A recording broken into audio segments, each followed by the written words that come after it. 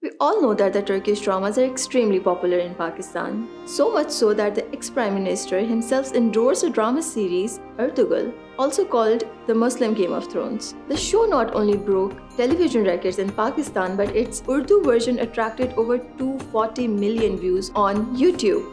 But even before Ertugrul, dramas such as Mera Sultan, Fatima Gul and Ishq-e Mamnu had a large and dedicated audience in Pakistan. So what's the secret behind the appeal of Turkish dramas in Pakistan? For starters, the picturesque scenes, mesmerizing locations, attractive cast, classic acting, and state-of-art production styles of Turkish dramas offer a great alternative for Pakistani audience, who are kind of fed up with the same old family dramas. But most importantly, Turkish dramas like Ertugrul, Kurulus Osman, and Mera Sultan are period epics based on Muslim history. They remind the Pakistani audience of golden past and the